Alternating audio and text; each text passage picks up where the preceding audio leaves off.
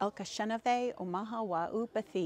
Hello, my name is Elke Chenevey. I'm a citizen of the Omaha Tribe of Nebraska, and I am a member of the Unity Council of Trustees. Uh, I want to wish you a happy Native American Heritage Month, and I want the youth to know that we are listening. We know how important culture is to you, and we are here to support you in every way we can. Thank you. Hey, hey, hey.